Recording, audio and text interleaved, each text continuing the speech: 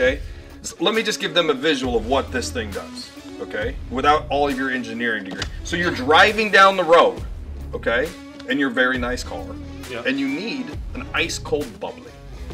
Maybe a LaCroix, maybe a Coca Cola, sugar free. And you just telling me you open it up and it's right there? You could have nine of those Coke cans in there. Nine Yeah. Coke so if you're really thirsty, Okay. Uh, between you and me, Kenny, I'm gonna need more bathroom breaks than that if I have nine